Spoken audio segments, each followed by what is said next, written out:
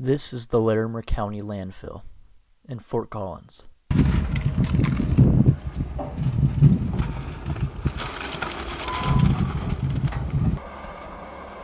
It opened in 1963, and now, in a little over a year, county officials project it to be full. Currently, the landfill serves between 8,000 and 12,000 customers daily, taking in approximately 350,000 tons of waste each year. This material will be redirected to a new site the county is currently constructing at a plot north of Wellington.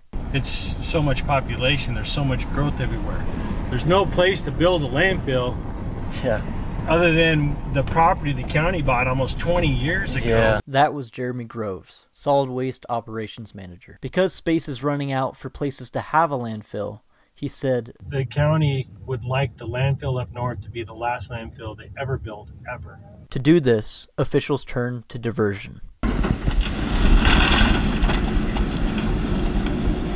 Diversion is the process of sorting materials so that they can eventually be brought to end markets where they are recycled.